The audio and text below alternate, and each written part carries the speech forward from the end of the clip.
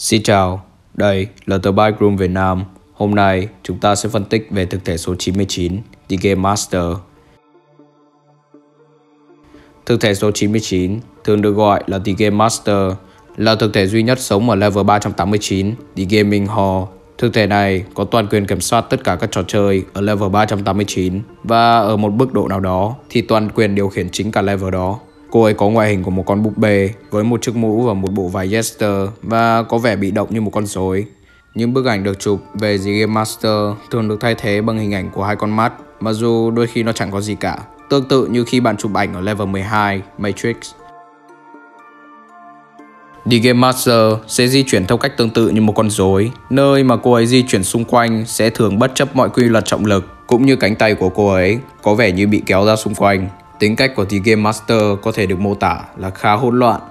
Cô ấy thường sẽ được tìm thấy là đang mày mò với các trò chơi mà cô ấy tạo ra, chỉnh sửa hoặc chỉ đơn giản là nằm xuống đất như một con búp bê. Trong khi The Game Master thể hiện quyền kiểm soát với toàn bộ level thì cô ta không thể rời khỏi level 389. Khi chơi một trò chơi với một kẻ sống sót bị mắc kẹt trong level 389, The Game Master sẽ luôn cố gắng gian lận trong mọi trò chơi mà người chơi không hề hay biết – Tuy nhiên, nếu phát hiện cô ấy vi phạm các quy tắc hoặc gian lận, cô ấy sẽ ngay lập tức bị buộc phải dừng lại. Quy tắc này cũng tương tự áp dụng cho người chơi. Mặc dù vẫn chưa rõ rằng điều gì sẽ thực sự xảy ra nếu một kẻ sống sót thua một trò chơi.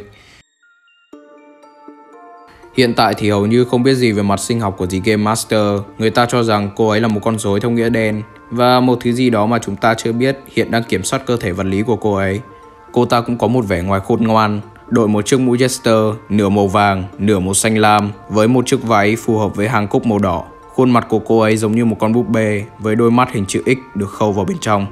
The Game Master dường như có khả năng biến đổi thực tế và có thể di chuyển vật chất từ xa chỉ bằng ý nghĩ, có thể tạo ra các trò chơi phá vỡ các quy luật vật lý và chỉnh sửa các trò chơi này mà không cần tiếp xúc vật lý.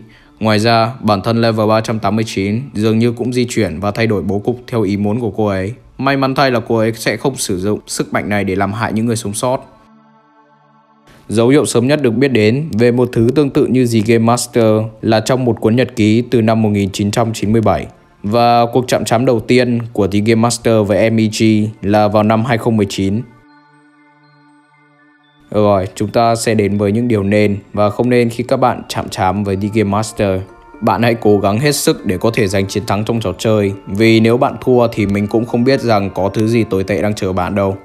Các bạn nên chọn những trò chơi dễ hiểu và có những luật khá hiển nhiên như đánh cờ, bởi vì càng nhiều quy tắc phức tạp thì đồng nghĩa với việc thì Game Master càng có nhiều cơ hội để gian lận hơn.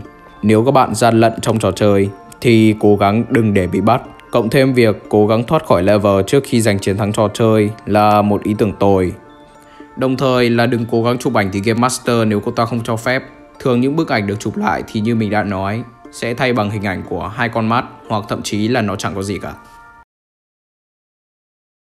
Sau đây là cuộc phỏng vấn của thực thể 99 với nhà nghiên cứu Jordan Kim Lee của MEG đã tình nguyện đến level 389 trong nỗ lực tìm hiểu thêm động cơ đằng sau The Game Master. Sau đây là phần ghi âm đã được phát trực tiếp trở lại căn cứ alpha của MEG. This is researcher Kimley. I've just entered level 389. I've got eyes on Entity 99, currently in a docile state. I'm going to clip this mic to my collar and try to talk to it. Hello? Are you awake? Uh, I'm not getting any response here. Uh, uh well, hello there! I am the Game Master.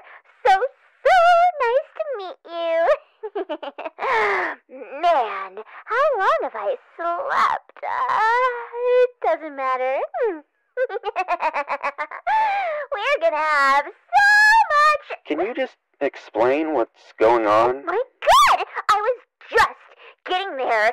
Jesus Christ on a bike! Do you have any manners? Sorry, I wasn't expecting you to actually talk.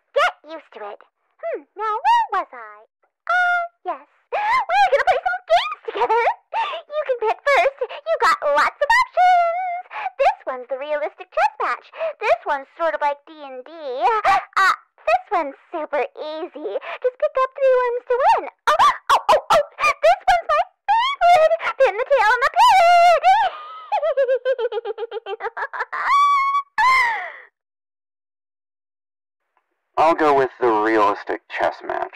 Ugh. Why do all the boring ones pick that one? Ah, whatever. Let's see here.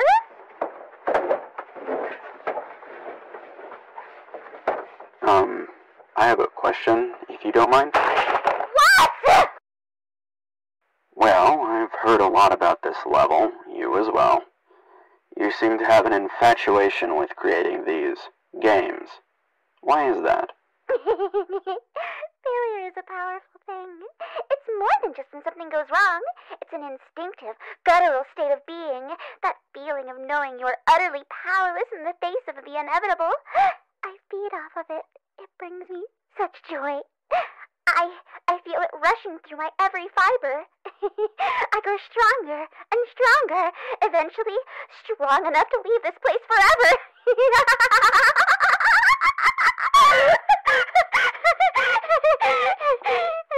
Ah, okay.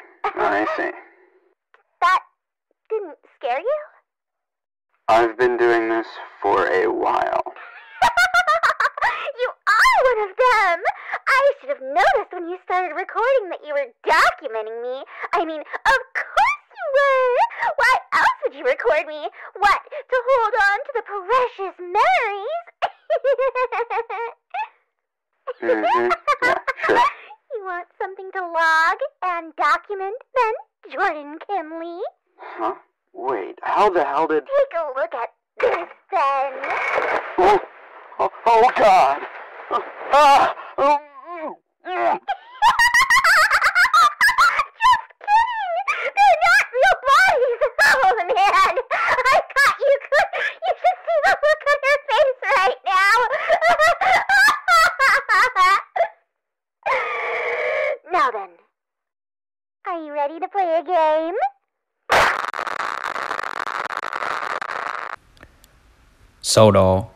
nhà nghiên cứu Kim Lee trở về căn cứ Alpha bị mất một số móng tay và cần được phẫu thuật khẩn cấp ngay lập tức.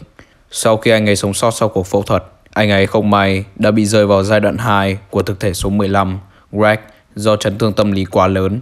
Phải mất một vài ngày để hồi sức cho anh ấy và nhiều tuần tư vấn nữa trước khi anh ấy bình phục hoàn toàn. Trong các cuộc phỏng vấn sau đó, anh ta cho biết đống thi thể ở level 389 trông giống hệt bạn bè, người thân trong gia đình của anh ta. Cảm ơn các bạn đã xem video này. Tạm biệt và mình sẽ gặp lại các bạn trong những video lần sau.